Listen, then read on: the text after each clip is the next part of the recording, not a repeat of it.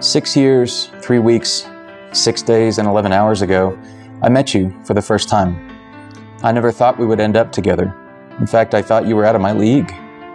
I thought we were too different. We lived in different continents, we were raised in different cultures. But with every WhatsApp conversation and every Google translation, it became apparent that I actually had a chance with you. And then you took a trip that changed our lives forever. On your way to India, your flight stopped in Houston. I drove more than eight hours there and back just to have breakfast with you at the airport. Being there, face to face and hand in hand, there was an undeniable energy. The life I had lived before knowing you was no longer the life for me. In this moment, I knew that I had to be with you. It was a series of adventures that led us to be together and I am now the happiest man on earth because I will have many more adventures by your side.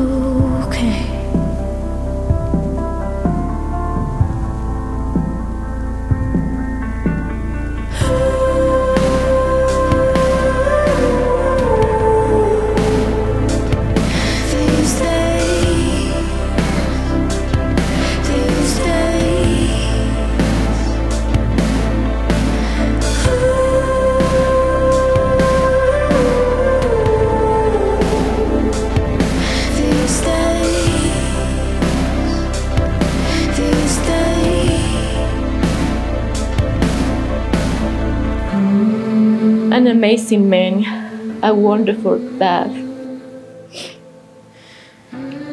a husband for whom I always feel the greatest pride and admiration. I believe in you. I believe in everything you want to be. I believe in us. I believe always in us. You are so wonderful, baby. I love you.